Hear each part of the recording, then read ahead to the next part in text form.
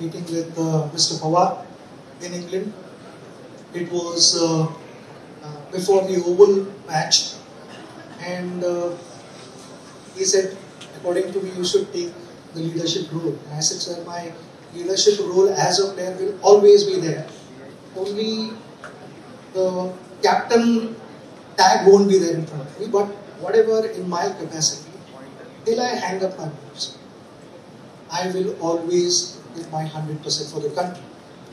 But at this point of time, I don't think I can last the whole day. I have to come inside all the time because my, both my ankles were giving me trouble and I was fighting very hard. Both my ankles strapped up. Every now and then I had to go back to the dressing room, unstrap my ankles, ice them, re-strap them and go back on the field. A lot of challenges and that was the reason I said I shouldn't be, but I have a suggestion. I'm going to suggest you a name who I feel has a good cricketing brain because I used to interact quite a bit with MS Dhoni.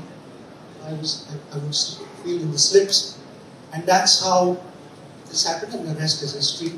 Match से जुड़े आपके हर सवाल का हम देंगे जवाब जानने के लिए हर update live analysis special interviews download कीजिए स्पोर्ट्स तक ऐप